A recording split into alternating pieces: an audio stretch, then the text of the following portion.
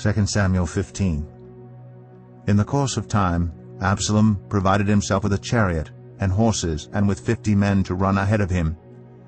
He would get up early and stand by the side of the road leading to the city gate. Whenever anyone came with a complaint to be placed before the king for a decision, Absalom would call out to him, What town are you from? He would answer, Your servant is from one of the tribes of Israel. Then Absalom would say to him, Look, your claims are valid and proper, but there is no representative of the king to hear you.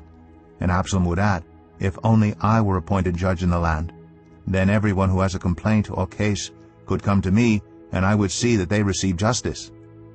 Also, whenever anyone approached him to bow down before him, Absalom would reach out his hand, take hold of him, and kiss him. Absalom behaved in this way toward all the Israelites who came to the king asking for justice, and so he stole the hearts of the people of Israel. At the end of four years, Absalom said to the king, Let me go to Hebron and fulfill a vow I made to the Lord. While your servant was living at Geshur in Aram, I made this vow.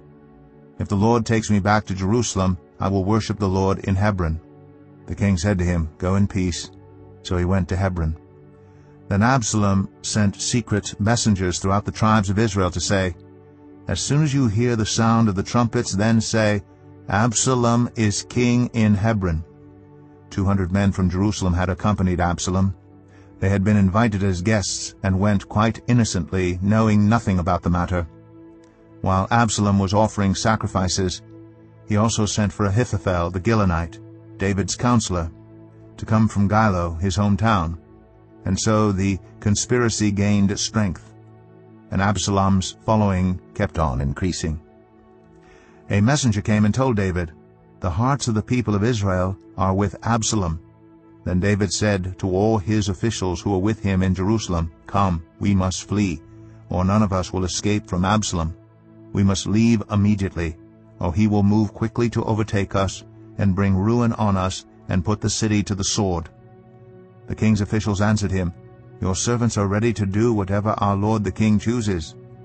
The king set out with his entire household following him, but he left ten concubines to take care of the palace. So the king set out with all the people following him, and they halted at the edge of the city. All his men marched past him, along with all the Cherethites and Pelethites, and all the six hundred Gittites who had accompanied him from Gath marched before the king. The king said to Ittai the Gittite, Why should you come along with us? Go back and stay with King Absalom.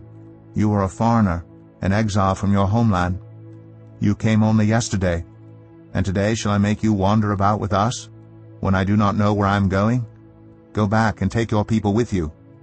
May the Lord show you kindness and faithfulness. But Ittai replied to the king, As surely as the Lord lives, and as my lord the king lives. Wherever my lord the king may be, whether it means life or death, there will your servant be.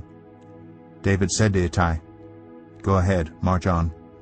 So Ittai the Gittite marched on with all his men and the families that were with him. The whole countryside wept aloud as all the people passed by. The king also crossed the Kidron valley, and all the people moved on toward the wilderness.